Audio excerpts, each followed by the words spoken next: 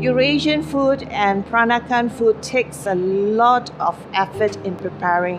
As a Peranakan, if you're able to continue this cuisine, you still keep the Peranakan tradition.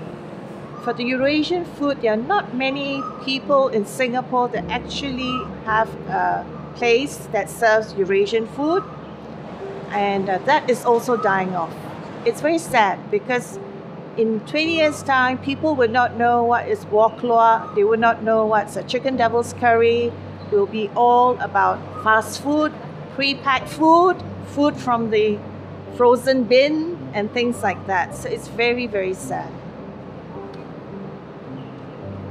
I grew up being very privileged to have a Peranakan grandmother and a Eurasian mother, and we grew up eating both cuisines.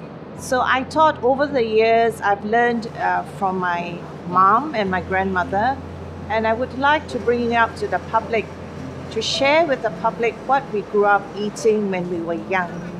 Because the current youngsters would not be able to try it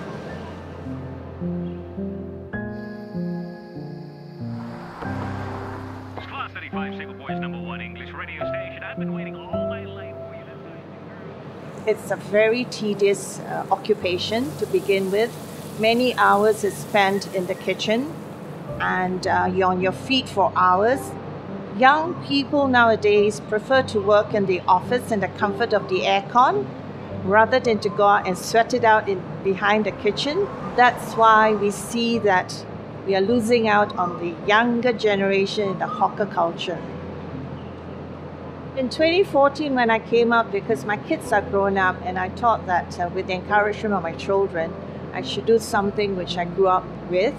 But as years goes by, it's becoming discouraging at the moment because of COVID 19. The takings have dropped drastically, and it's really, really a struggle now. It's very difficult nowadays to get a salary. Uh, should I carry on or should I just call it a day?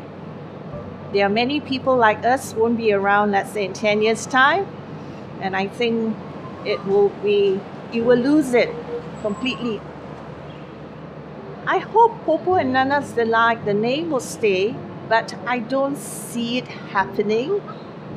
I really cannot say what is going to happen in the next five years.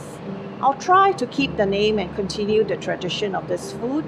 If otherwise, then I think um, I will have to retire. And I hope that does not happen so soon.